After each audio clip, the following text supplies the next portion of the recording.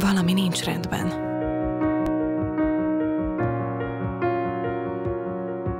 Vajon ők is látják rajtam?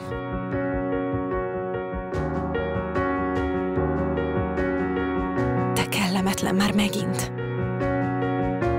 És lassan mindent áthat. Újra önmagam akarok lenni. Tegye meg az első lépést.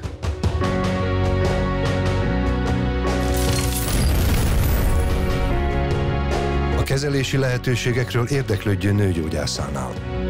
Ne engedjen teret a miómának. Készült a Magyar Nőorvos Társaság támogatásával.